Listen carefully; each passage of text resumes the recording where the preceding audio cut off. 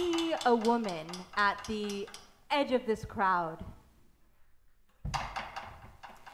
If you were paying attention, you saw her too when she came in here. Because she's an observer. She saw you. She takes simple pleasures in simple pleasures, paint by number sunsets, or the dog next door.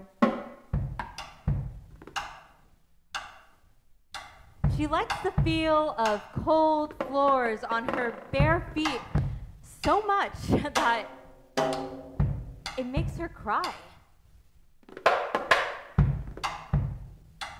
She laughs whenever she can, wherever she can, whether she should or she should not. She puts her hand against her lips so you can't tell she's laughing, but you can tell she's loud.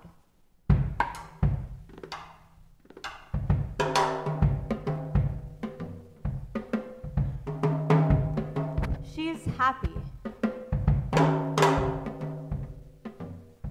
She says she's happy. But she looks at her friends and their dreams about children and their hair and their partners and their new coffee makers. And there's no reason why she would want a new coffee maker. She hates coffee, but she just lusts after them just the same. The first thing she looks at is hands. She loves hands, just not her own. She thinks Bonnie and Clyde is a perfect tragic love story. She likes that Bonnie Parker wrote poetry. She hates that she died with 100 people watching. But this is not her story. Bonnie or the woman.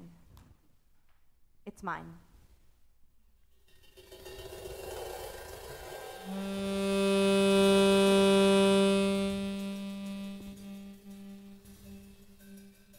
I see a man in the back of the room who hasn't left his apartment in three weeks. His shirt is awkwardly old, his shoes are tenderly new. Maybe it's just being here with you people that puts that painful look on his face. He collects African masks that hang on the walls of his living room and look down on him with eyeless faces. Even though he admires them, he still feels like they judge him. He must do better. He won't look at them in the eyes, even though they don't have any. He watched too many horror movies as a kid.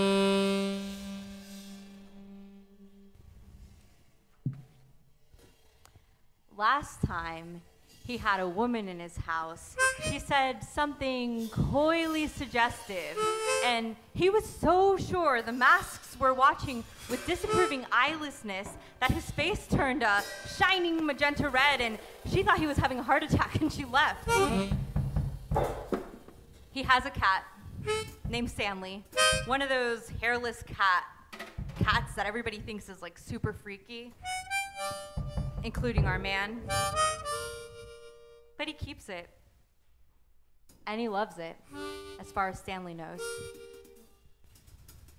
It's a connection so desperately needed that he keeps a reminder on his calendar to pet the cat.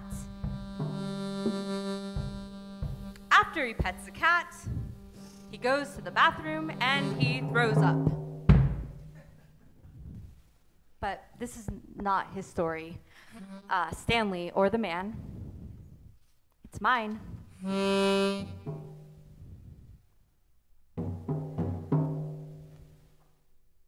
If you were paying attention, I've told you everything that you need to know. How these how these two people are made for each other. How every fold and corner and unkept edge lines up perfectly. how she would put her hands on his face and, and look into his eyes for a moment, and the world would stop, and everything would be okay. I'm sorry, this is not that story. It's not the story of them. Even if they suddenly realized who I'm talking about and they think they could look around for each other, there was never a them. No matter how much you wanted it.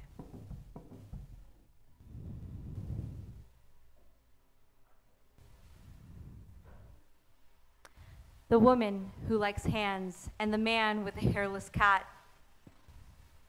They'll never meet. They will never hug on a chill spring morning in the street outside his apartment with the African mask looking down from his window going tisk, tisk, tisk. She will never admire his hands, which is a shame because they're marvelous. This story has nothing to do with them. You'll never know what happens. Life is like that. This is not the fable where the hero gets the girl. In my fairy tale, I'm the hero, and the princess is in a tower so dangerously high that it, it, it sways in the wind, and it's so far that I couldn't reach it if I had wings. and I don't have wings. I, I don't have sails. I can't be borne aloft on horses or, or dragons or, or magic. If you're here looking for magic, hit the road. If you're the one person here with a perfect life, this is not your story. You don't need one. You're okay. Stories don't have to be about perfect people. I've been waiting for mine long enough. This is mine. This is not your story.